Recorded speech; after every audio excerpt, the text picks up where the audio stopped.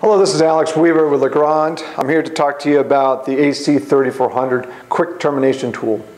Over the years, we're all familiar with this tool, the punch down, that uh, whether you use in your hand to terminate or sometimes people use a puck, it's, it's a process that uh, will give you a good termination, but it can be kind of slow and, and arduous.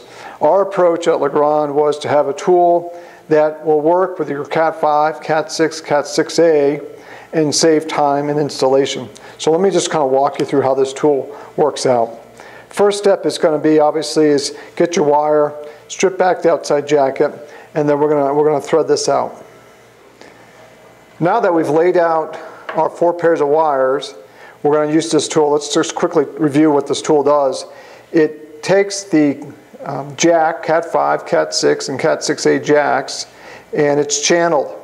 It allows the jack to slide in there and as I squeeze down I'm going to terminate and cut those wires in one motion.